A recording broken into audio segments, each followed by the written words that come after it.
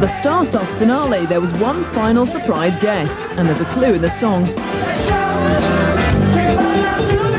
Yes, it's Michael Jackson, who had been expected to do a couple of tracks from his upcoming album, but the gloved one had laryngitis. I love you all. And you all have been phenomenal. And the best is yet to come. Merry Christmas. Good night.